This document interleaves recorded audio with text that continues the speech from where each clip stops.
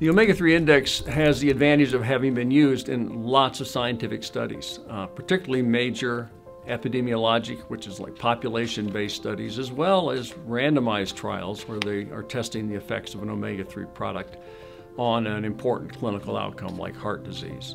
Uh, for example, um, epidemiologic studies include the Framingham Heart Study, uh, the Heart and Soul Study, uh, the Women's Health Initiative Memory Study are all large studies in which we've done the omega-3 testing and based on the numbers that we get, we can link our numbers to important clinical outcomes like heart disease death, like death from any cause, like developing dementia, things like this. Um, again, the number is the important thing.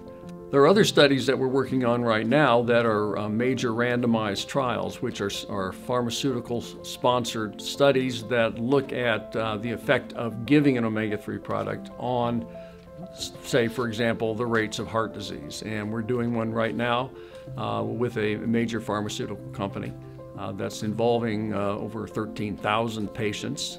And we're going to have data on the omega-3 index in this study, and we'll be able to link the achieved omega-3 index in this study with certain important clinical outcomes. Again, this is a feature that's unique to the analytical test that we do here at OmegaQuant. The important thing about using a test that has been validated in research studies is that you can trust the numbers that you get to tell you something about your own risk for various diseases.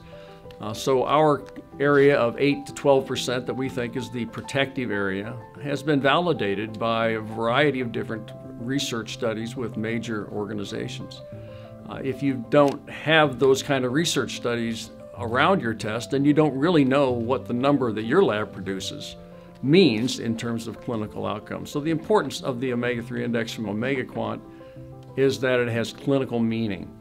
Uh, and that's what we've strived to create over the last nine years since we've been uh, working on this analytical test.